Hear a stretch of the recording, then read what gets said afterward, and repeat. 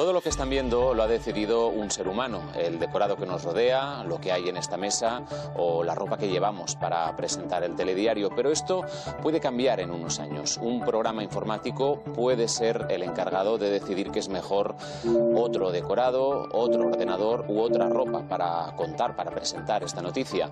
La inteligencia artificial ya se aplica en varios ámbitos y dicen los expertos es solo el principio. Un ordenador podría haber seleccionado al periodista más adecuado para contarles esta noticia. Todavía no es el caso, pero lo cierto es que este tipo de tecnología convive con ustedes más de lo que creen.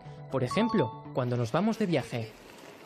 ¿Qué puedo hacer cuando viajo a un destino X cuando X puede ser cualquier lugar del mundo? Un ser humano puede responder a esta ecuación consultando durante horas una guía de viajes como esta. Pues bien, estos ordenadores están procesando ahora mismo millones de datos para que sea la inteligencia artificial la que pueda decidir por ustedes los planes de sus próximas vacaciones. Geolocalizar, clasificar y ordenar todo lo que está ocurriendo en los destinos. Hacer esto de forma manualizada es imposible. La tecnología nos ha permitido, de una forma masiva, generar esa información de forma automática.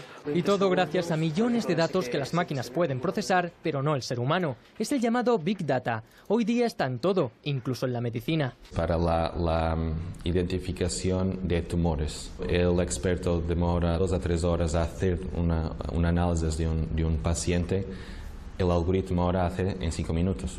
La inteligencia artificial ya decide por nosotros la ropa que se vende en algunas tiendas o incluso cuándo recoger la basura de una ciudad. Sus aplicaciones no hacen más que aumentar. Con la cantidad de datos que vamos a tener será muy difícil eh, de tomar decisiones sin la ayuda de estos algoritmos. Quizás pronto elijan también el contenido de este telediario. El calendario sería una de las variables que un robot tendría en cuenta y seguramente les hablaría ahora de las fallas.